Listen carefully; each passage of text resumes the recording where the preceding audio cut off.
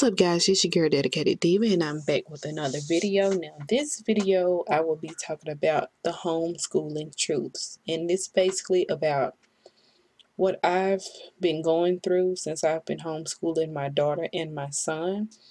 If you guys don't know, I have an 8th grader and I have a kindergartner and my kindergartner, she was homeschooled from you know the point of that she started school now, my son, he was homeschooled in his when he got in sixth grade. He's in eighth grade now, and he's on his way to ninth grade. Now, some of the things that I've heard people say is homeschooled or my kids they go to a public tuition free school online same thing to me, homeschool. They at home doing school. and I hate to be, you know, I hate to sound that way, but it's just the same thing, same thing. Now, I've heard a lot of people say that it's easier on kids or the kids don't have to do any work if they're at home. That's false. I have sat with my son for many nights and on the weekends trying to figure out homework for him and he have assignments like he would if he was going to a regular brick and mortar school. I think people have to get out of that stereotypical thinking of you have to go to school. You have to be able to go inside of a physical building so you can socialize with the people that's around you. That's not always true. Online schooling is the exact same way, especially with technology now. So I wish people would actually get that out of their mind and saying that the child can't socialize. That's so far from the truth. There are clubs, there are summer camps, there are outings, there are so many different ways. Like my son now, he chat with a couple of um, of his classmates through the app called Discord. And, you know, that's an app for gamers, but, you know, you can do a little bit of everything through there. People also say that you're, you will end up sheltering your child too much. In this day and time, in 2019, I don't believe I don't believe in that crap talking about sheltering anybody because half the time I leave out of the house and don't even want to leave out of the house because there's so much crap that's going on in this world. So there's no such thing as you're you're sheltering your child too much. Now, a couple of positive things that has came from the whole situation is my son, he wasn't that good in math at all in school it just he wasn't horrible but he wasn't that good and he's getting way better at the ways that they have them to you know how can i put this? At the ways they have them to go by doing their homework. Now they do have physical books and different things like that to come. They do send them to different websites and one of the websites that I love is Khan Academy. Now anybody can get a, a um get access on to Khan Academy. And basically that's where you go and it basically breaks down math to a T. It breaks down a lot of other things, but it breaks down math to a T. You have videos showing what you, you know, showing you what to do step by step. They have missions that they can do throughout the year to, you know, to help them get better and better in math. My daughter, she's in kindergarten. She started in kindergarten. She'll be in first grade next year. When she started off, you know, she knew her basics. She knew how to count. She knew her alphabet. She knew how to read. She read a little slow, but she knew how to read. Everything is so much better. They break down the context clues, and even if now, before I say that, I went through K12.com, and that's how I got them in this public tuition free school. even if you choose the route of going the private school route and you want to pay for their books and like that, you still have the ability to let them, you know, speak with instruction instructors if you would like. But you do get a physical copy to every book. You do be able to log in online to actually see what should be done and what should be finished.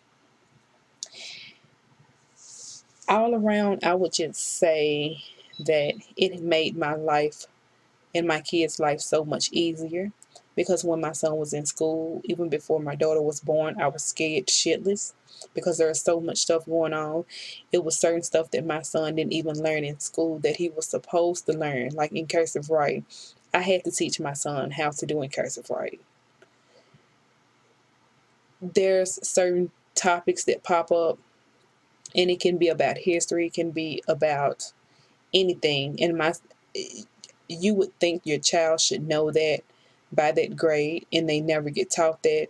Some things they totally overlooked. And so I thought that this was a great way when I started off with my son on, you know, how to teach him because I was just a nerd. And you don't even have to be a nerd. You can be going into this blind just like your child, not knowing what's going to go on. You just have to know that you're not going to give up on your child. You just have to know that you have to put your best foot forward. And in those times of where they seem like they're kind of lagging around like all of us do, everybody lag around. You just have to give them that motivation that they need to keep it moving. Everything is hard until you get going with it. Everybody has to keep learning.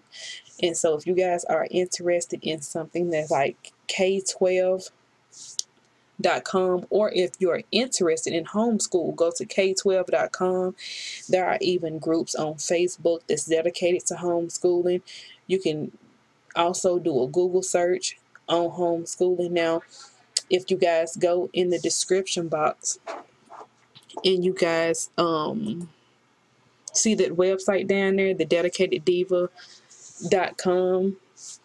and i think it's say right next to personal website. Let's see.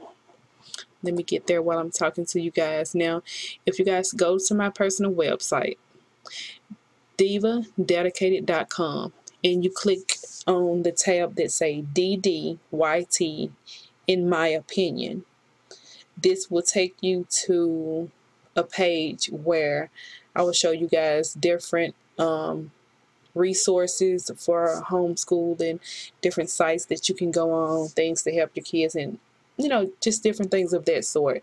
Because don't let someone put the negative stigma in your head that homeschooling is not what a child should be doing. I had the hardest time trying to.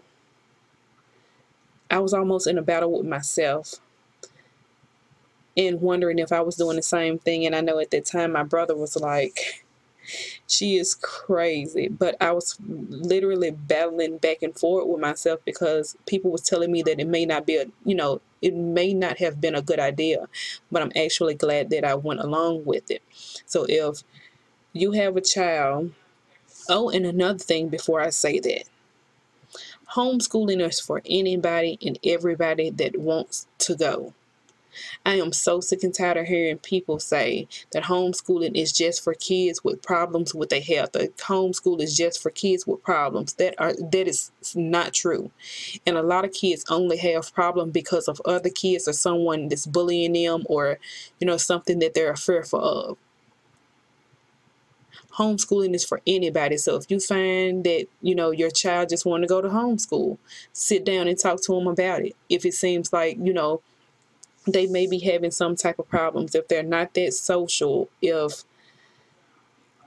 it's just in general let your child know that there's other ways because if you like i am when i was in school years and years ago i did not know it was a such thing as homeschooling i wish i had have known but there was no such thing then to my knowledge of homeschooling. Give your child a chance. A lot of kids are out here taking their own lives where they can't deal with the things that's going on with them in school and they just don't know how to tell their parents about it. Let your child know that there's always a way out and help them. They can sit down in the comfort of their own home. Never have to worry about anything. Never have to worry, about people pointing and picking at them and different things like that. Just let them know that there's other ways to do homeschooling. Now, I will be back with more videos like this, but just know that there's other ways of schooling than your regular brick and mortar school. Thank you.